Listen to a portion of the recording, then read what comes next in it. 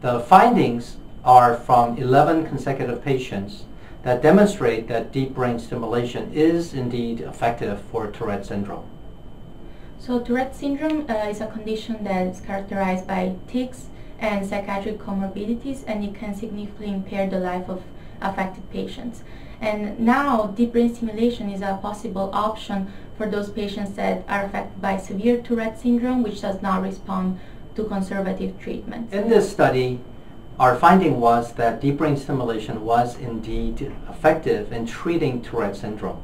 However, it is very important to note that this is a still preliminary study and that deep brain stimulation is not yet FDA approved uh, for Tourette syndrome. This video content is copyrighted by Mayo Foundation for Medical Education and Research.